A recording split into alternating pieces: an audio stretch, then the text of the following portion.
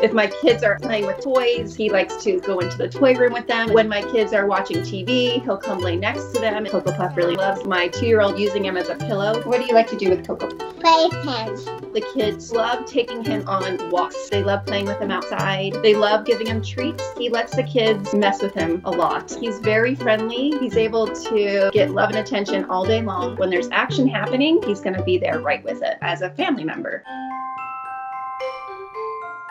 We surprised Maisie because she loves animals. What is it? That was really fun.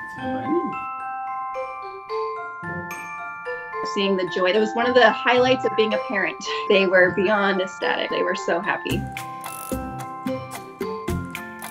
We had plenty of concerns. I knew if I thought about it too long, we would never do it. We didn't realize how calm he would actually be. Once we got Cocoa Puff, we couldn't bear to let him go outside by himself. Like we couldn't bear to not be with him all the time. And slowly, he had free range of our house. It's actually surprisingly great. Rabbits are social animals, and I don't think they get enough credit because they're always in a cage.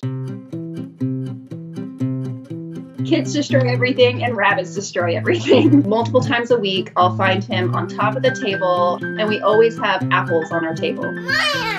I don't know if it's him or my kids, but there's always apples with big chunks out of them. We slowly have picked up on how smart he is. We would just go outside and call his name, and surprisingly, he would come to us. Teaching circles was actually really easy. I've seen a real change in my kids of how they treat animals. They know to respect animals, and I think that's very important to life. They take care of him, and when their friends come over, they're able to teach their friends how to treat an animal.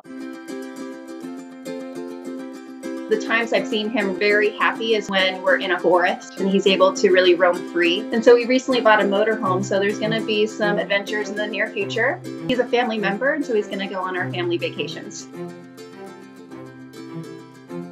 at the end of a long day, it's nice to have him there with me. When I had this horrible migraine, he just laid on my chest and was licking my neck. It was really sweet. He likes my husband the best, actually. That's a secret. So when my husband comes home, Cocoa Puff will follow my husband around looking for some rubs. My husband will lay next to him on the ground and he will groom my husband